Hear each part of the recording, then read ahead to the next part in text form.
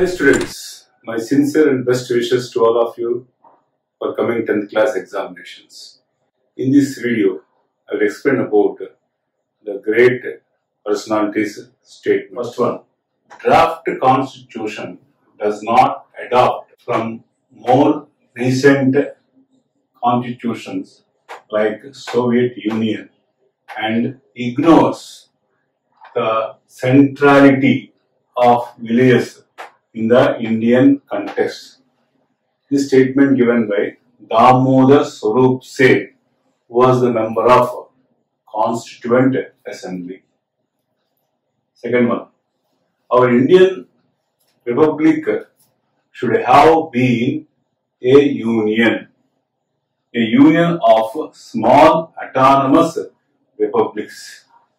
This statement also given by Damodar Swarup Seth was the member of Constituent Assembly. Third one, we have emerged from the from this war the most powerful nation, perhaps in all history.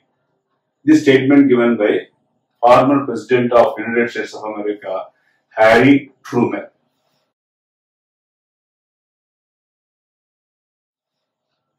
Next, fourth one.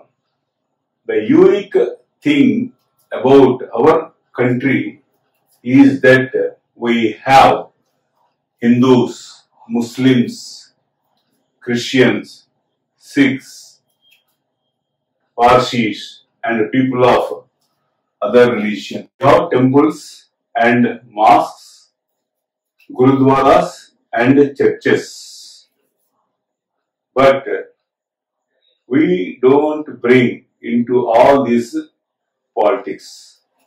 This is the difference between India and Pakistan. This statement given by Lal Bahadur Shastri was the former Prime Minister of India.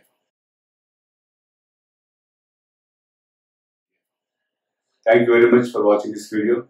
Like, share and subscribe.